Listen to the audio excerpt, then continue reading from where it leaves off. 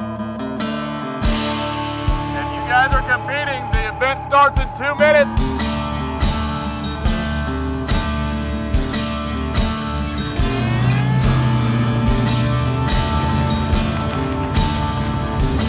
boys.